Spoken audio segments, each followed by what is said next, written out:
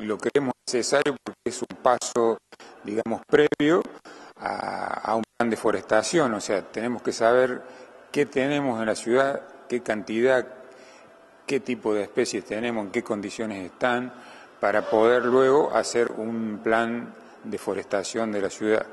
Eh, esto gracias eh, a la ayuda de la Oficina de Empleo y bueno, van a ser unos cuantos chicos que van a estar trabajando, obviamente han sido previamente capacitados en el tema, eh, son alrededor de 500 cuadras, entre 400 y 500 cuadras, eh, manzanas, disculpame, las que se van a relevar, eh, casa por casa, viendo el estado, o sea, las especies que, que hay, el estado de, de las plantas, y si hay o no cazuelas para poner plantas, o sea, una serie de datos que serán volcados a un, dato de, a un banco de datos para poder trabajar luego. Esto va a llevar aproximadamente dos meses y bueno, para el municipio es de suma utilidad, como te decía, para luego eh, hacer un plan de forestación serio con las especies adecuadas para nuestra ciudad. Sabemos que eh, tenemos la particularidad de que tenemos la mayoría de las calles con veredas muy angostas, entonces tenemos que acotarnos bastante en las especies que vamos a utilizar. ¿Hay en marcha algún plan de forestación que venga de gestiones anteriores o del año anterior?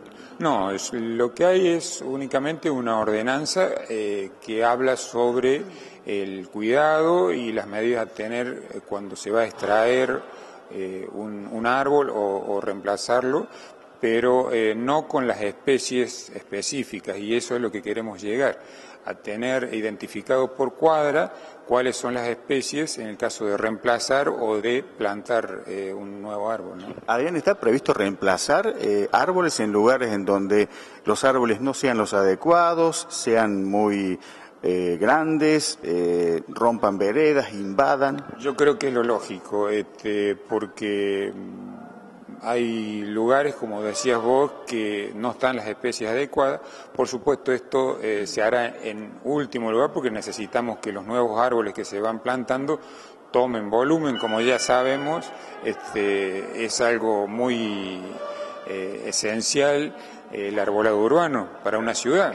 Eh, no solo la generación de oxígeno, la estética, eh, sino también eh, el tema de los vientos, que hay veces protestamos, pero bueno, son los que nos paran los vientos.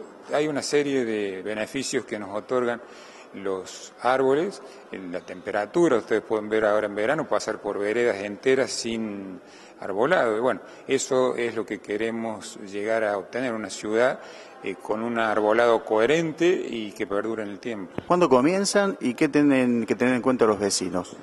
Bueno, eh, estamos comenzando hoy y los chicos van a trabajar incluso días feriados, sábados y domingos y los vecinos únicamente eh, por ahí colaborar cuando puede llegar a haber una duda en cuanto a la especie que van a colaborar, porque esto se hace en, el arbolado público, o sea, no vamos a pedir ningún tipo de permiso para ingresar a los domicilios porque se hace eh, en vereda.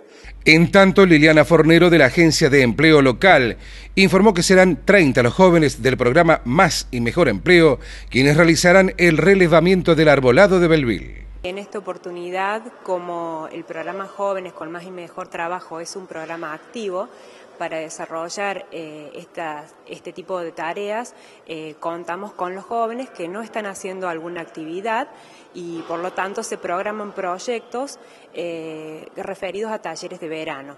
En esta oportunidad lo hacemos articuladamente con el Departamento de Medio Ambiente, son unos 30 jóvenes que van a hacer un relevamiento sobre el sector, de distintos sectores de la comunidad. ¿Van a percibir alguna retribución? Sí, tienen un incentivo económico de 450 pesos. ¿Y estos chicos después van a seguir capacitando? Sí, o sea, el taller es un taller eh, de mejora a su empleabilidad. Por lo tanto, como muchos de los talleres que ofrecemos desde la oficina de empleo, eh, lo que hace es favorecerlos a la hora de buscar un nuevo empleo. Bueno, ¿qué edades tienen más o menos estos eh, jóvenes chicas y chicos que van a participar. Sí, entre 18 y 24 años, como es el requisito eh, que tiene para participar del programa.